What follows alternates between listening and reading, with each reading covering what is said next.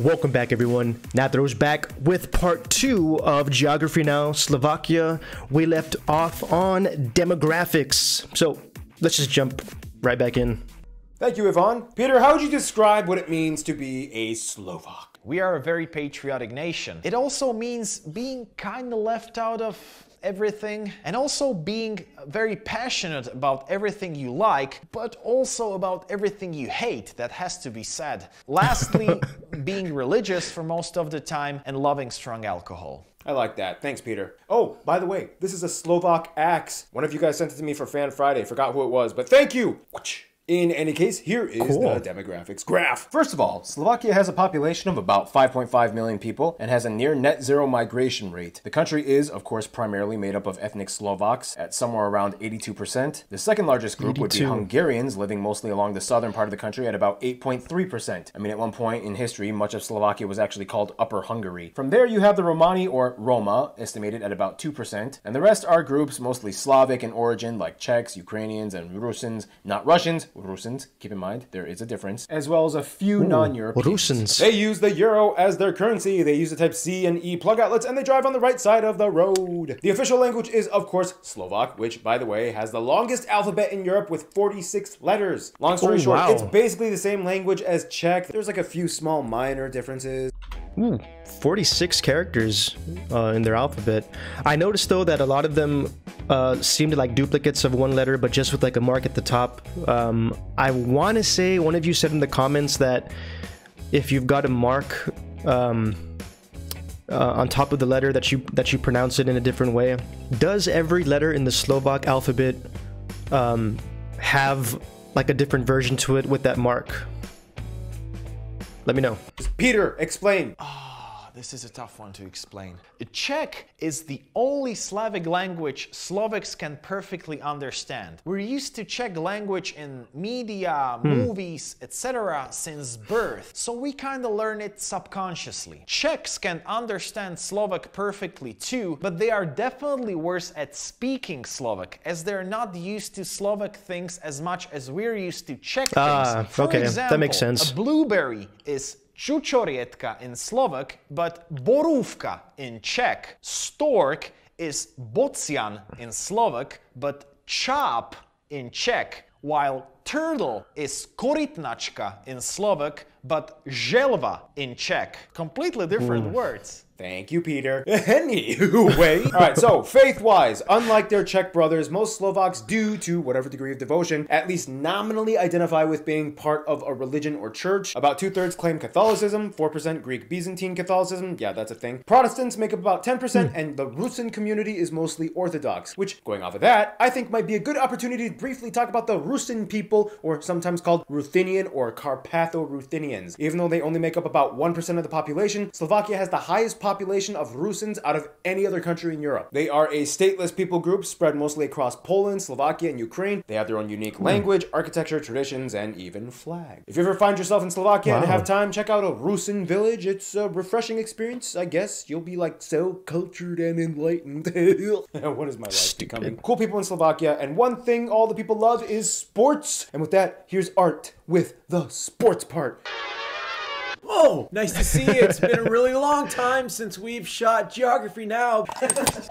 Slovakia. Okay, so with this country, there's one sport they absolutely go crazy for ice hockey. Every Ah, I Slovak knew you it. meet I will at it. some point gloat about the 2002 World Championship that they won against Russia. It Um, yeah, I believe them. I think even Peter mentioned it in in one of his videos. I think I also remember saying that Slovakia was a nation that was good at hockey, but then like some people uh, repli- replied to me in the video saying like, "No, we uh we used to be good, but we haven't been good for a long time," and oh, that, that kind of got me sad. But hey, year by year, take it year by year. You never know.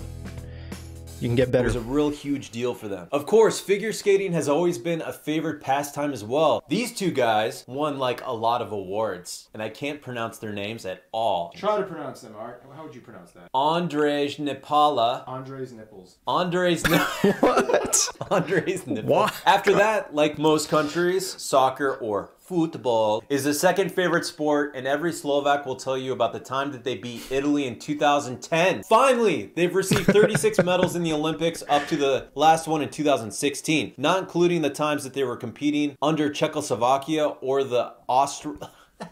or the Austro-Hungarian Empire. It sucks that the Olympics were canceled in 2020. Am I right? And for some reason, the only event that they excel at the most is canoeing. Yeah, they have like eight gold medals in canoeing for some reason. Slovakia really rose my boat.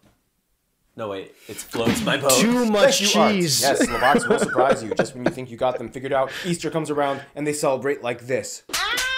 Ah. Yeah, no joke. And with that, I guess it would probably be I remember when when I first uh, heard about that in one of Peter's videos. I just. Oh man, I couldn't believe it. Of course, a lot of it is exaggerated, but it's it's awesome how like I don't know. I, I- to me, it's it's that much more funny because I've already seen a lot of what they're talking about because of Peter's videos.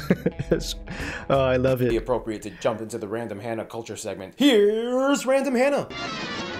Yeah, that tradition, it's supposed to symbolize a woman blossoming into beauty. Okay. Oh, and speaking of beauty, very quickly, guess what? I'm wearing a shirt with my own face on it, which you can also purchase at geographynow.com. Now into the episode.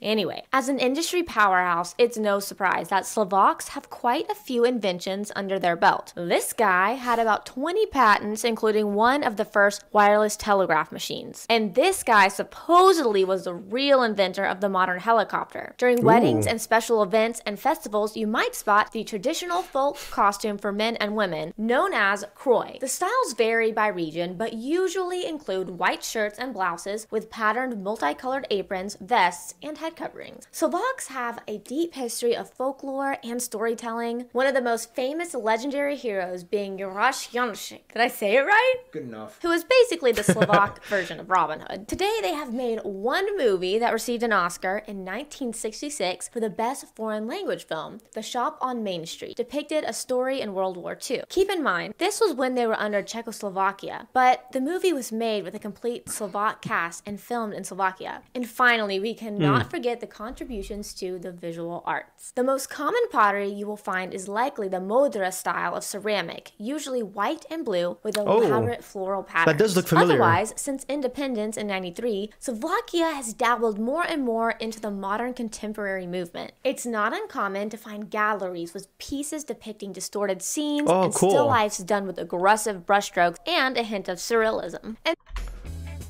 Ooh, wow. I've actually been playing Magic the Gathering ever since I was a kid. I mean, always super casually, but it's really cool how they uh how they actually put that into into some of the art in the cards. Also, those art designs on those dishes, I'm almost positive I've seen stuff like that at stores um here where I live. So good stuff. speaking of surreal, here's Keith with his music segment, Buy My Shirt. All right, so you all know the drill here. Look at this. You can wear literally this face on your body at geographynow.com. Make sure my hair looks good. So, Slovakia. First off, the old stuff. In Slovakia, bone pipes dating back to my phone going oh, off. Jeez. Want to make a meaningful connection?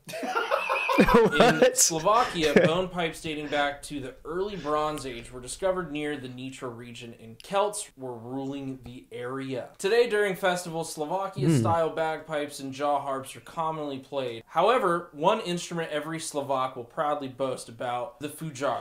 It's like a super tall wooden bassoon-looking thing, very unique to the country and often considered a national symbol. From the 1800s, Slovak music became more Austro-Hungarian influenced. Composers like this dude became a prominent figure in the romantic genre during this time. Today, the music culture in Slovakia has evolved through many layers of influences from every period of their history and fuses them together. This lady, Marika Gombitová, has like more albums than any other Slovak artist. Today, they host some of the most renowned festivals in Europe, like Bratislava Music Festival uh, and Piske any uh,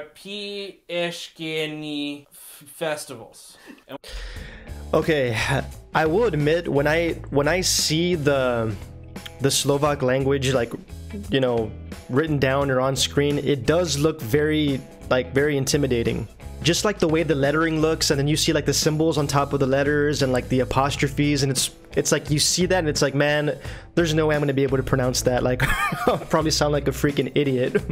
but anyway, One of the most well known and Pohoda festivals.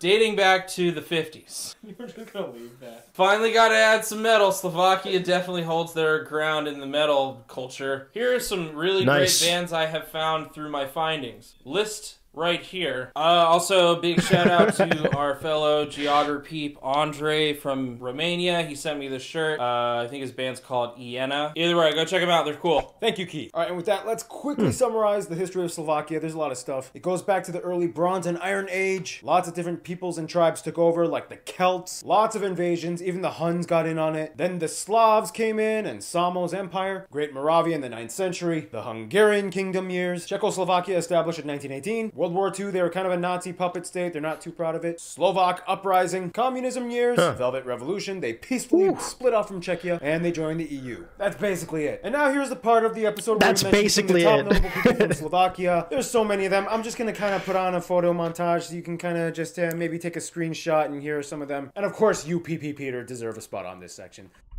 yes, yes, you got that right. He most certainly has inspired me, and I've even thought, you know, once I get fully vaccinated, making a couple of videos about Texas. If you guys would be interested in that, let me know in the comments. Let's be real. And with that, let's move on to the final segment the. Right, Slovakia and friends. Now, when you're a country that's kind of been subjugated by multiple empires and people groups and been exposed to many different ethnicities, you kind of, you know, build up your repertoire and entourage over the years, you know what I'm saying? That's kind of how Slovakia is. For one, Austria and Hungary are like the, hey, oh, don't worry about those empire years you subjugated us under for centuries. We're cool. We're, I mean, we're still keeping our eyes on you, but uh, we're cool these days. But not for real. Today, much of their business goes through these two countries, and they get along just fine. Now, for Albania and Romania, they were the only two Warsaw Pact members that did not participate in the 1968 invasion of Czechoslovakia, which the incident even led Albania to withdrawing from the pact. So there's always that kind of uh, thank you for not being a douche towards us attitude when it comes to Albania and Romania. Interestingly enough, Little Liechtenstein had a long-standing dispute over some land that they claim belongs to them in Slovakia. Oh, wow. This dispute lasted until 2009 when they finally arranged diplomatic relations. However, some people might still bring up the dispute. Ukraine, Croatia, Serbia, and Poland are the Slav cousins they like to see from time to time and Whoa, hold on. Yeah, I, wow. There was I had never heard of such a thing. When I was randomly looking up like some information about World War II, like sometimes I would go off on a tangent and just like get absorbed into like to some other like European conflicts. Um, but that one I had never heard of. Hmm. I may have to research that or maybe find a video about that and react to it. But anyway, yeah, let's keep going. share hearty conversations with. Many Slovaks like to visit Croatia for vacation, and likewise, many people from all of the other countries like to visit the Slovak mountains. For Ukraine, Slovakia is like their gateway to the EU, and many come over not just to visit but study in their universities. Finland kind of sees Slovakia as a good luck charm as they won the Ice Hockey World Championship twice when it was hosted in Slovakia in 2019 and 2011. India, Nice. South Korea, Japan, Armenia, Mexico, and the USA are some of the countries outside of Europe that have all had high profile visits either by heads of state or foreign ministers, and each country has expressed interest in expanding relationships. When it comes to their best friends, however, Nice. it's not even a best friend, it's almost a conjoined twin, Czechia, or the Of Czech course, Republic. yeah. These two are as close as two countries can possibly be. They basically speak the same language, they have shared almost every moment of history together, and they just get each other the best. The only difference is that Czechia tends to be more liberal, Slovakia more conservative, Czechia less religious, Oh. Slovakia more religious, Czechia drinks more beer, Slovakia drinks more spirits, but otherwise, they are practically joined at the hip. Hmm. In conclusion, Peter, I think you should take this one. What would you say? Slovakia is like Czechia's little sibling everyone keeps forgetting about or mistaking it for its twin Slovenia. It may not be big in size, but it's huge in natural wonders, quirky places slash traditions, and very passionate and generous people. Perhaps the most common connotation with Slovaks I've heard from foreigners is that we're crazy, but in a good way. So remember, crazy, but in a good way. Awesome, Peter. Love that. You rock. Thank you for being in this episode. Check his YouTube channel out. Stay tuned. Slovenia, the not Slovakia country, is coming up next. Oh. Oh, that was great. I, oh, I loved it. Well, that was Geography Now Slovakia. And oh man, the, the fact that Peter was a part of it just made it a hundred times better.